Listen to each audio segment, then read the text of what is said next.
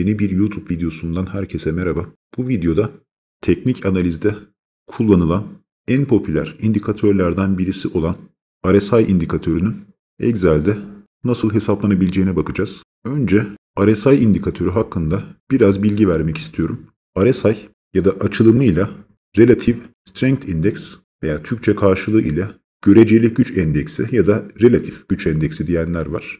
Aşırı alım veya satım bölgelerinin tespit edilebilmesi için 0 ile 100 arasında değer alan ve sıklıkla 70 üzerine çıktığında aşırı alım bölgesi ya da 30 altına düştüğünde aşırı satım bölgesi olarak değerleri yorumlanan bir indikatör. Özellikle fiyat hareketlerindeki uyumsuzluklar ya da fiyat artışının güç kaybı gibi tespitlerde sıklıkla kullanılan bir indikatör. Fiyatlar üzerinde olduğu gibi yine formasyonlarda omuz baş omuz, takoz gibi formasyonlar yine RSI üzerinde de dikkate alınıyor. Ve RSI indikatörü aslen makine mühendisi olan Wells Wilder tarafından 1978 yılında yazmış olduğu New Concepts in Technical Trading Systems isimli kitapta sunuluyor. Hatta teknik analizle ilgili arkadaşlar eğer bu kitabı okumadılarsa içerisinde bugün hala kullanılan DMI, parabolik SAR, Swing Index ve Volatility Index gibi indikatörler de yine bu kitapta tanıtılmış. Bu arada Wells Wilder 2021 yılında hayata gözlerini yummuş ama teknik analize katkısı anlamında muhtemelen en çok tanınan isimlerden birisi. Eğer teknik analizle ilgiliyseniz kitaplarını okumanızı şiddetle tavsiye ederim. Bu uygulamada doğrudan RSI'nin tanıtılmış olduğu bu kitaptaki örneği paylaşacağım. Kitabı inceleyecek arkadaşlar 65. sayfada RSI indikatörünün tanıtımını ve hesaplama adımlarını görebilir ve 66. sayfadaki tablo üzerinden bu hesaplamaları teyit edebilir. Bu rakamlar da doğrudan kitapta RSI hesaplaması nasıl yapılır tablosunda paylaşılmış olan rakamlar. Biz de RSI değerlerini Excel'de hesaplayacağız ve kitaptaki sonuçların birebir aynısına ulaşmaya çalışacağız. RSI hesaplaması birkaç adımlı bir işlem.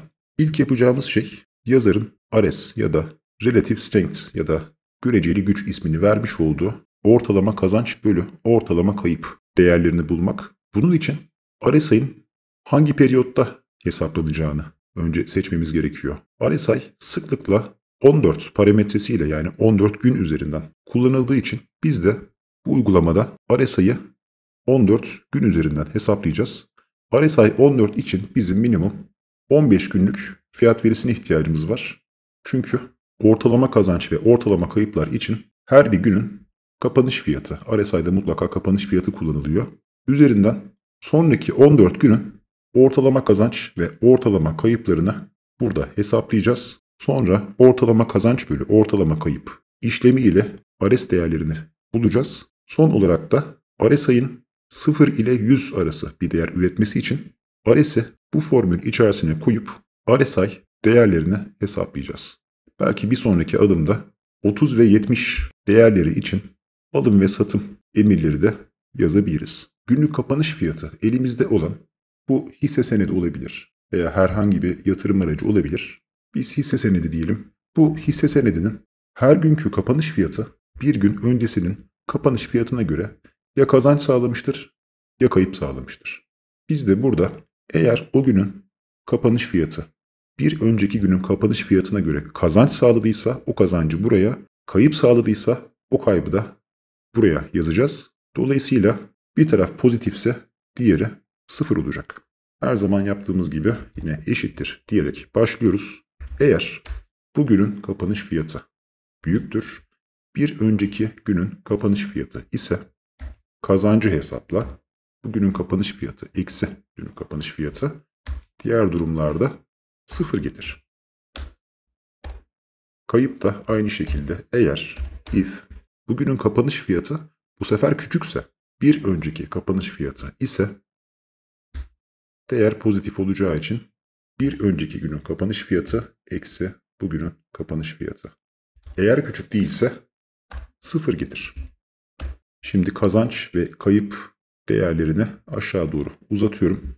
14 günlük RSI hesapladığımız için biz ne zaman ki 14 günlük kazanç ve kayıp değerine sahip olduğumuzda o zaman ortalama kazancı hesaplayabiliriz.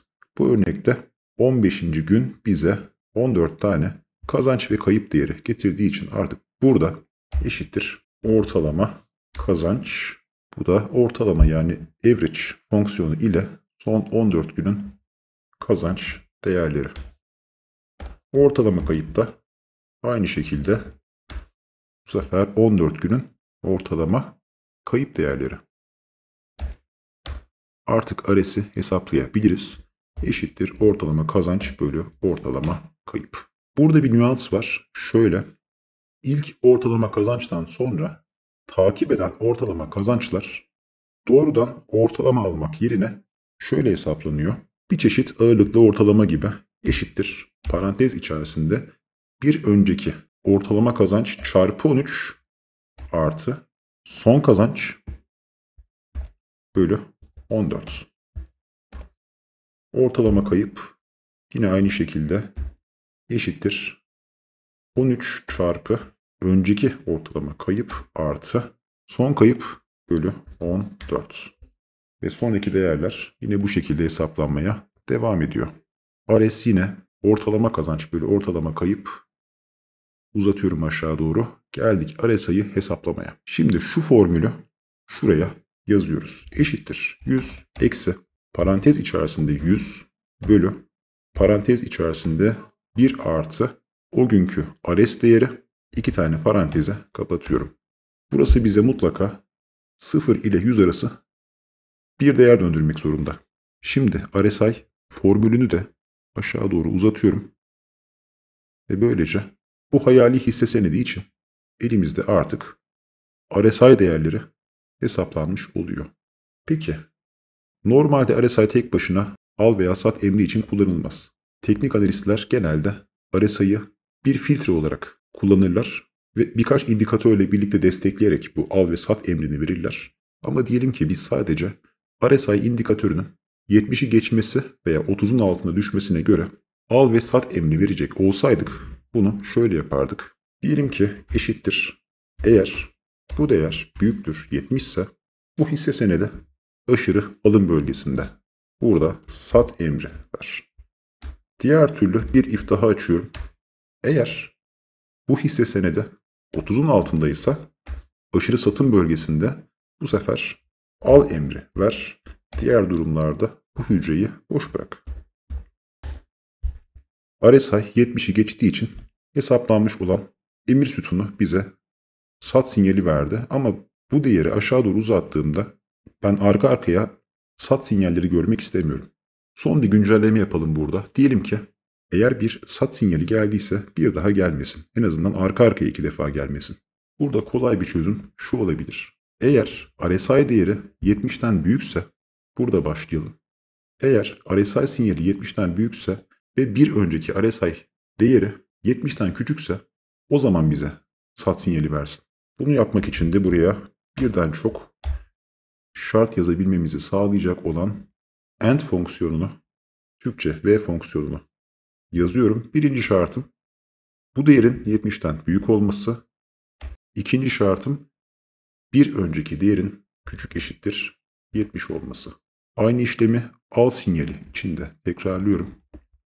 AND bu koşullar aynı anda sağlandığında yani bugünkü RSI değeri 30'dan küçük olacak ve bir önceki RSI değeri büyük eşittir 30 olacak. Artık arka arkaya sat sinyalleri gelmiyor. Sat sinyali verdi ama RSI 30'un altına düşemeden tekrar 70 seviyesini geçtiği için yaklaşık 7-8 gün sonra artık bize sat sinyali vermiş oldu. Bir düzenleme daha yapalım. Mesela sat sinyalleri kırmızı, al sinyalleri yeşil olsun. Bunu sağlamak için de İngilizce Conditional Formatting ya da Türkçe koşulu biçimlendirme aracını kendi kurallarıma ekleyeceğim şekilde seçiyorum. Amacım şu. Eğer sat yazıyorsa kırmızı ile yaz, eğer al yazıyorsa yeşille yaz.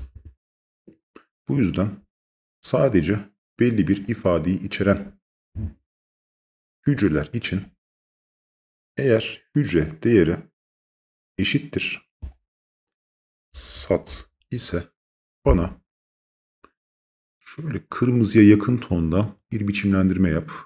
Bu olabilir. Okey. Bir biçimlendirme kuralı daha ekleyelim. Bunda da eğer değer eşittir al ise bunu da yeşil renkle olarak biçimlendirsin. Okey. Elimizdeki veri seti bize bir al sinyali döndürmüyor ama burası mesela 25 olsa idi. Emir sütununda artık yeşil renkle bir al sinyali gelmiş olacaktı. Hazırlamış olduğum dosyaları videoların açıklama kısmında paylaşıyorum. Bir videonun daha sonuna geldik. Bir sonraki videoda görüşmek dileğiyle. Hoşçakalın.